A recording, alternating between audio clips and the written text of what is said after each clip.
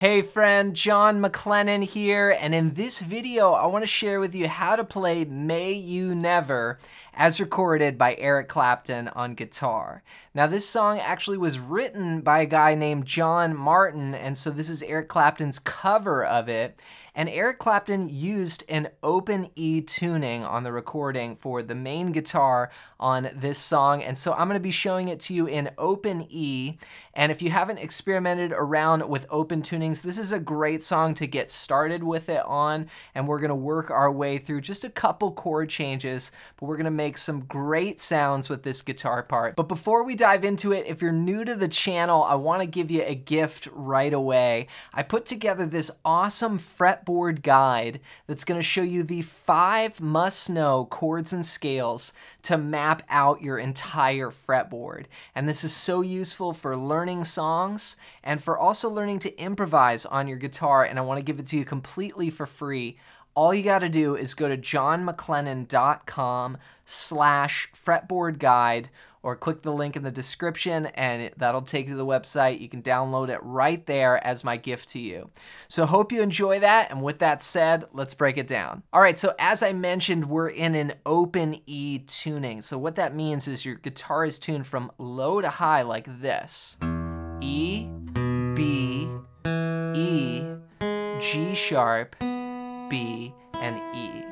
Basically, when you strum the open strings, you get an E chord. It's like as if you were fretting an E chord because you tuned up those three strings. So once you're in that tuning, then we play this B chord and it just sort of floats for a second and Clapton sings, may you never, and then we're into the groove. It sounds like this.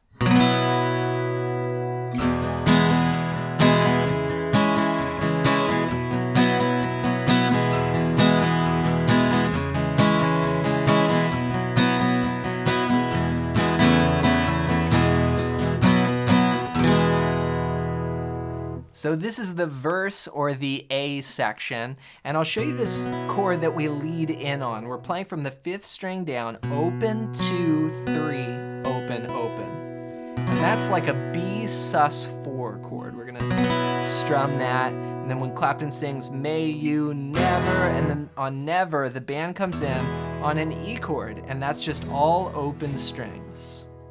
Then we're gonna go to C sharp minor, and the way I play that is from the fifth string down, two, open, open, two, open. Then we go back to that B sus four that we used for the first chord, and then back to E. So those last one bar each. So it's one, two, three, four, one, two, three, four, one, two, three, four, one, two, three, four. Then we go back to C sharp minor, one, two, B sus again. One, two, three, four. Then we do this little lick, and it reminds me, you know, I hear Joni Mitchell do this a lot, or a lot of folk players. It goes like this. Okay, so what it is, is an E chord here. One and two and three and four and one. So it's E, and then we're gonna go to the second chord. It's it's like a it's like an A add 9 chord with an E in the bass. It's kind of like doing the 4 chord with the 1 in the bass. So we're going to go 1 and 2 and 3 and 4 and, and then go back to E. So the strumming pattern there goes down, down, up, up, up, down. And as just a general strumming pattern throughout this tune, I'm keeping an eighth note feel going. So one and two and three and four and just down, up.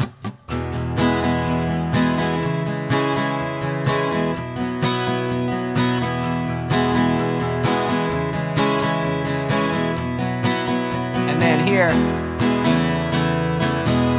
we have little moments throughout where the band kind of hits those rhythms or we have like a little figure and that's a then then you do the B chord again, and there you can kind of hit three, four. You can change the rhythm there, but predominantly it's still just down, up, one and two and three and four. And so then we're gonna loop it back around.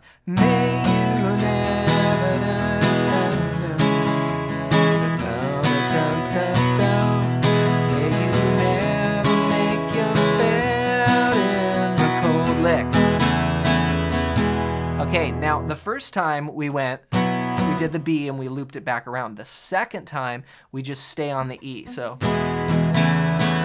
one and two and three and four and and that's the verse section. So it's basically a repeat two times. You have the first ending where you do the B, and the second time you just stay on the E.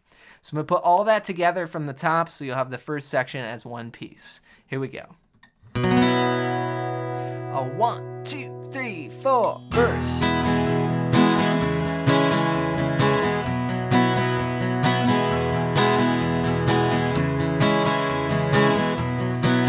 Little lick. Loop it back around.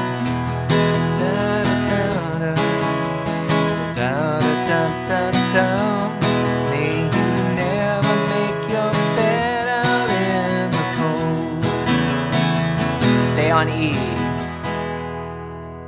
All right, here's where we go to the B section, and this is where Clapton sings, Well, you're just like a great strong sister to me. Here we're gonna play this. One, two, three, four.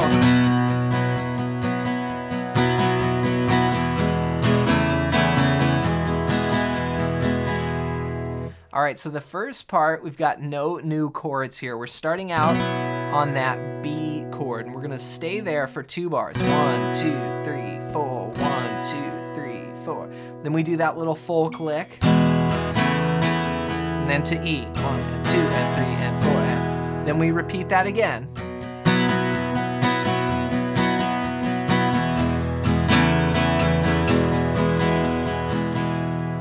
and still the main strumming pattern is just that eighth note, one and two and three and four and. Now Clapton does do sometimes these little flurry strums on the downbeat, like he'll go. And that's just down, up, down. It's a real quick kind of 16th note little strum pattern that he would just sort of pepper in.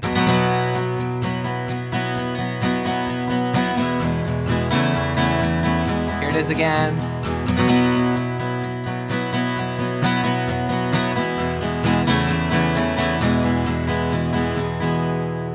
So you don't have to do that, but there is some of that on the recording and you can add that in as you feel. From there we go back to B. And then I do this little lick.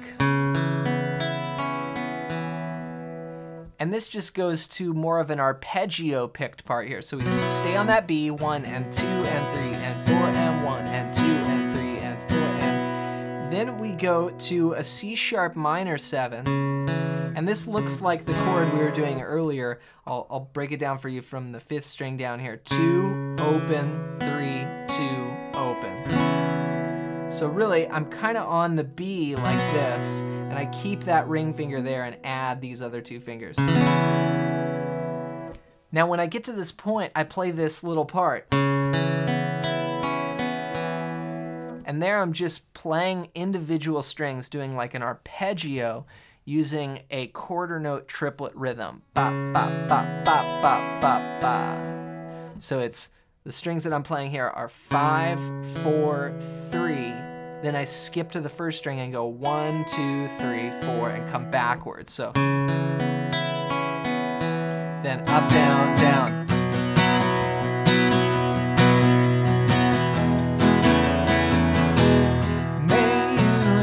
Then we're back to the first section, the verse. So coming out of that, we do the arpeggio. Then I go up, down, down. Then I play two bars of the B chord again, the B sus 4, 1 and 2 and 3 and 4 and 1 and 2 and 3 and 4 and then do the folk lick, the and then turn it back around with the B sus 4 again on beats 3 and 4. 3, 4, 1 and that's what the words may you never.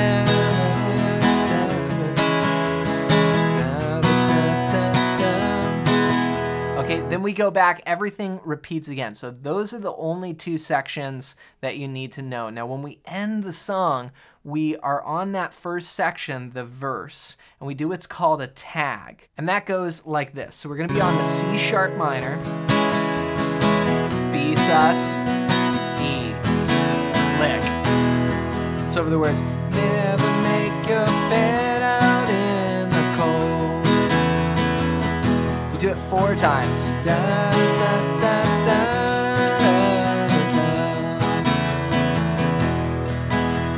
So we do it four times, and on the last time, it's three times with singing, then on the last time, it's just instrumentally.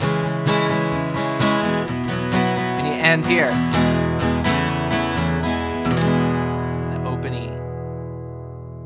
So have fun putting those two sections together and then add in the tag and you'll be able to play it top to bottom. Now this is a great song, as I mentioned, for working on playing in an open E tuning. The chord shapes aren't too difficult, but they get an amazing sound because of the tuning. So it's just a cool way to sort of freshen up your guitar and, and make it seem brand new again because you just go to another tuning. So you can see why a lot of singer-songwriters and uh, you know just artists over the years have favored using these different types of tunings. So rewind the video, go over any parts that are unclear, and to help you put this together even more, don't forget to grab my fretboard guide at the first link down below. And this is going to show you the five chords and scales that I use for mapping out the fretboard.